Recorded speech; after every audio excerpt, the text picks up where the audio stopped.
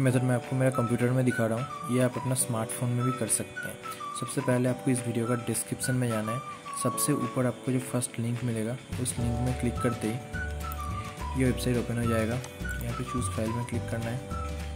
Then आप D file select कर लो, जिसको आप जीप में कन्वर्ट करना चाहते हो।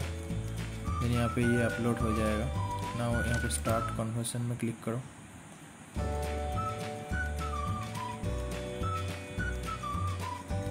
आपको यहाँ पे डाउनलोड का ऑप्शन दिखेगा।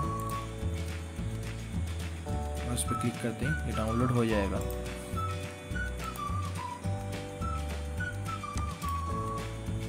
तो ये जीप फ़ाइल में डाउनलोड हुआ है।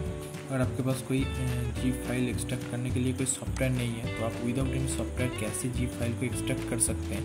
उसका वीडियो मैंने ऑलरेडी बना चुका तो वो आप मेरे चैनल में जाकर देख सकते हैं, या फिर इस वीडियो का डिस्क्रिप्शन में भी उसका लिंक आपको मिल जाएगा।